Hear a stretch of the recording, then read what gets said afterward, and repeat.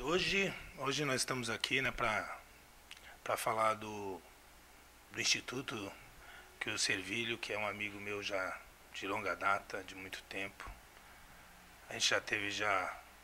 Ele já teve uma participação na minha vida, onde já colaborou comigo, acho que dentro de campo também, jogando profissionalmente comigo.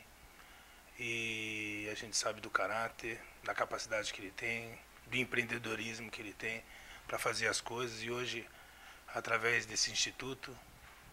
A gente vem pedir não só ajuda para ele, porque a gente sabe o quanto é difícil, a gente também passa pelo, pela, pela mesma dificuldade, e para que as pessoas possam colaborar com esse cara, porque não é fácil alguém nesse país ou em qualquer lugar fazer alguma coisa para as pessoas ou para esse povo carente que precisa sempre de alguma ajuda, da dificuldade que as pessoas têm de, de ter sua atividade desportiva que cresça nesse ambiente do esporte. Hoje ele está fazendo isso para que essas pessoas alcancem pelo menos um pouquinho das coisas que nós tivemos e das oportunidades que nós também conquistamos ao longo do tempo. E hoje eu venho só não só agradecer pela amizade que a gente tem, mas agradecer as pessoas que colaborarem com ele nessa caminhada, nessa trajetória desse instituto.